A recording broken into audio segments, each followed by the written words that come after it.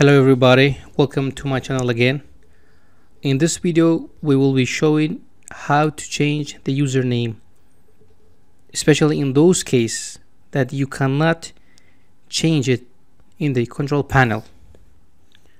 So I mean that when uh, the normally when you want to change the username account name you go to the control panel you go to the users account user account here and you should see that change your account name here. But sometimes you cannot see this one here. You cannot change it directly in the control panel. In those cases you should go to the windows and write down lusrmgr.msc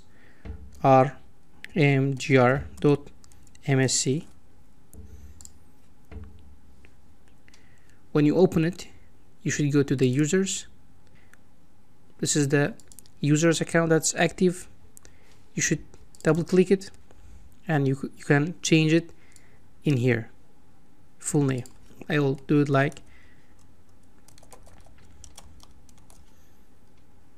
BWN BJQ you should say apply and OK as you can see when you go to the setting